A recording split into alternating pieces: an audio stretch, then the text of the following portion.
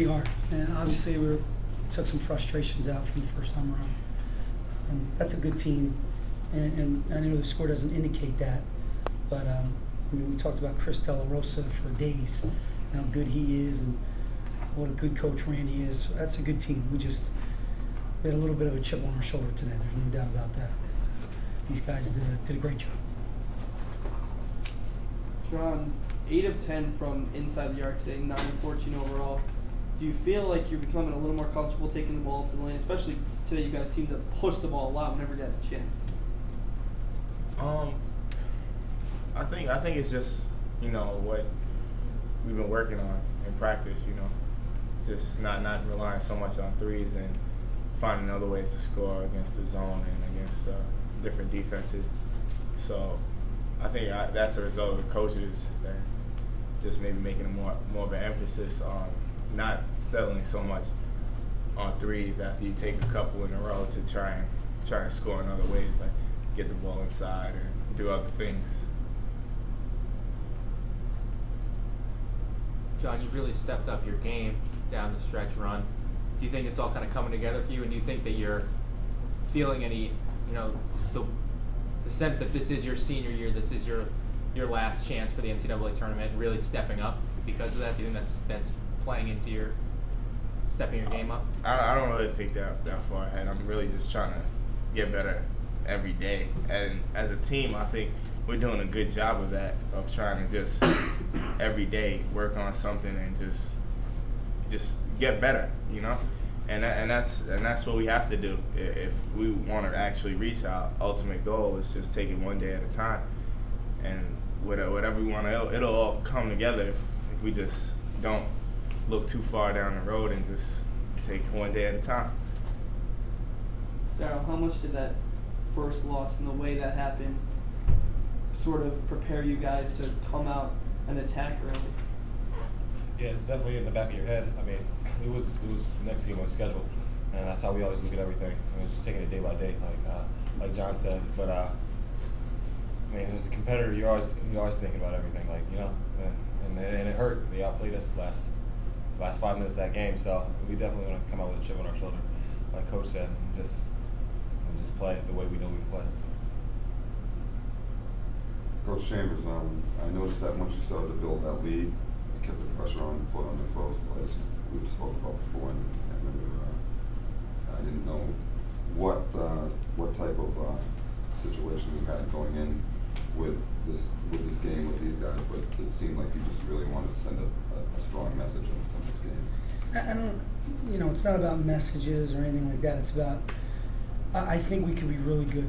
I still believe that. And, um, and I still think we have a lot more to go. We have a lot of more, lot more players to give something on the floor. And, and we're headed in the right direction. I just said to these guys, we're headed in the right direction. We haven't put 40 minutes together yet, but we're, we're, we're getting there. We're getting there. And, um, you know, you get, sometimes you, you fall into that human, human nature sets in start looking at the scoreboard, you're up 30, and you start doing things that are not characteristic of BU basketball, what we're all about. And I was just making sure, we have a young team and only one senior. So we're, you know, we're just trying to make sure that we didn't fall into that trap. Because I've seen this team down 30, I've seen this team down 25, I've seen this team down 20, and then come back, cut it, or, or win the game. I mean, that's what they did versus Maine. John, how much does it mean to finish out at least the conference home games with a perfect record after losing at least one over the past three years? Uh, it's nice. You know, you know I, I didn't even tell him about that stat. Do you know the Uh, stat? Was it 1998? Yeah. It's the first time since 1998 we went undefeated at home. I think that's nice. I mean, I don't really take too much into that. It's, it's I guess it's comfortable at home. But I'm happy. I'm happy. and, You know, it says something about our team. I guess that we're doing something good, something right. Well, it's a- the benefit to have that sixth player. Yeah. Yeah, definitely, definitely. The fan support is something, especially uh, at this school, that we sometimes struggle with. But uh, it's, it's just nice to, to have fans there. John, what would you say about you know the season Darryl's had? It seems like he's really put it together. His first year after sitting out a year as a transfer. Just how big is he to the to, to the team? But you know, how have you seen him progress during the year? Oh, he's he's great. I mean, uh, I imagine it must be rough sitting out a year. So to, to come in and, and you you've seen it like during the year, he's just gotten better and better and better. And now you see him, he's he's, he's playing at a, at a high level right now. So we're gonna need him and everybody down the stretch. So it's it's, it's great to see. Darryl, how you know how does it how has the season gone for you, and how does it feel to really be contributing a part of the team every single day and playing major minutes for you know a contender down the stretch after you know your your first two years playing time being really sporadic at LaSalle and then having to sit out a year as a transfer. Uh, I mean, I don't really don't understand what you're, you're asking. So I was just for your insight on the year. You know, you're playing major minutes, playing really well for a team. You know, competing for a league title. It must be completely different from your previous experiences playing college basketball. As uh, you know, you had sporadic playing time at LaSalle, then you had to sit out a year and not play at all as a transfer. Just Okay. what's the year been like for you?